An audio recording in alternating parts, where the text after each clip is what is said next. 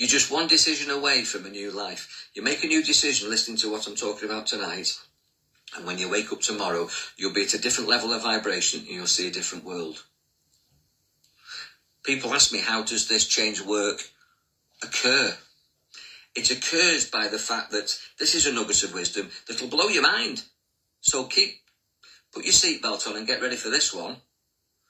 That your eyes aren't cameras. Your eyes are not cameras. That you're not seeing a world out there and processing it in here.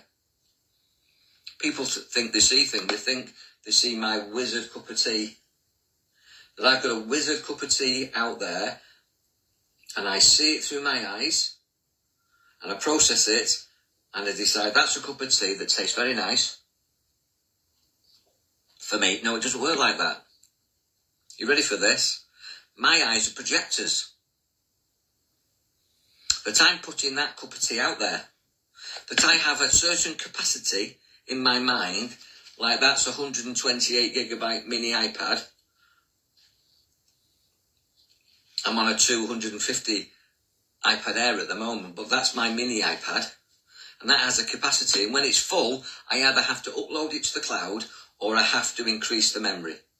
Put a memory card in or put it into storage somewhere. You know how that works when you've got so many things on your on your mobile phone and you want to download something. It says your, your memory's full, so you have to take something off to put something on.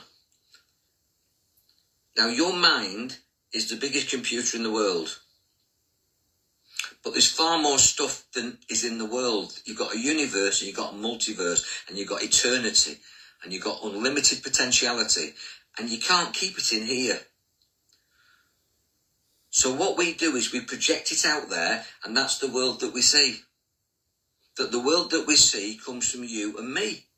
The world we see comes from you and me. We put it out there because we can't deal with it, in here. So we have inner visualizations and inner tutors called your intuition, your inner tuition. But you've also got outer tuition by connecting to other dimensional beings, God if you like, divinity,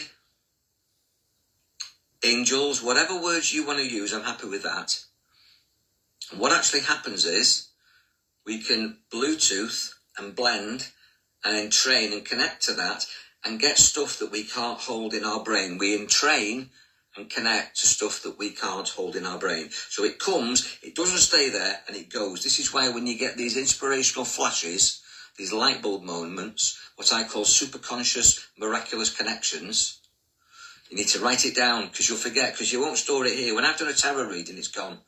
When I've done a psychic or a mediumship connection, I say it and it's gone. I can't. Don't ask me what I've said because it hasn't come from me and it isn't stored in me. It's come through me. I say it on behalf of the universe and then it's gone. And you can do the same. Nothing special about me. Not bigging myself up at all. You've got this power and ability. I'll be teaching psychic skills, connection, entrainment, Bluetooth into the universe and other other ident- uh, other dimensional beings. I've already done some lucid dreaming training, some dream work, some breath work. I put some breath work on today. Have you done it? Why not?